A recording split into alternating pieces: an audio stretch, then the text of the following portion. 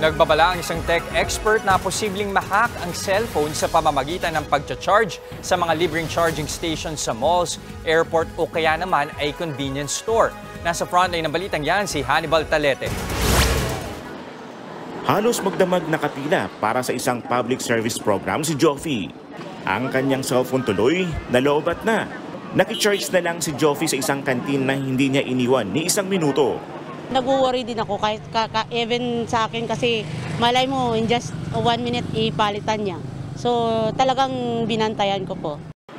Si Remy naman, suki ng mga charging station tulad sa mga mall at convenience store. Naalarma siya nang mabalitaang pwede palang mahack ang laman ng kanyang cellphone sa pamamagitan ng charger. Nag-worry po, naisip, ngayon naisip ko na nga na baka ano. Ay mamaya i-check ko nga. Nagbabala si tech at business editor Jing Garcia laban sa paggamit ng USB charging stations sa mga mall, hotel at iba pang pampublikong lugar. Sa panayam sa Radyo 5, sinabi ni Garcia na maaring makuha ang laman ng iyong cellphone, tablet o laptop kung gagamit ng mga charging station na ito.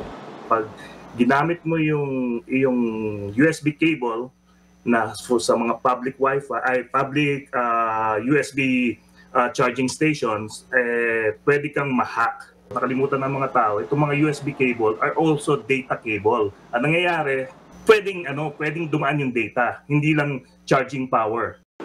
Ang delikado pa raw, hindi mo malalaman na nahahack na pala ang laman ng cellphone mo sa pamamagitan ng mga charging station na ito. Yun ang masakit, hindi mo alam. Kasi behind that wall, behind that ano no, that USB port, hindi mo alam kung nakakabit ito sa internet or sa power lang. Payo ni Garcia sa mga gadget user, kapag may makitang notification sa cellphone para kopyahin ang data, pindutin ang don't allow para maiwasan ng hacking.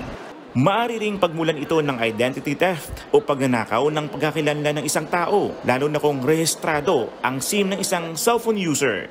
Ito isa sa sa pinaka ma- mabenta sa especially sa dark web yung identity mo. Just imagine kung registered na yung SIM mo. Di ba? Oo. Makukuha ngayon yung data. Yung mismo yung data na kailangan nila. Makatutulong daw ang paggamit ng sariling charger o magdala ng power bank para maiwasang manakaw ang iyong personal na impormasyon sa mga charging station. Nagbabalita mula sa frontline, Hannibal Talete, News 5.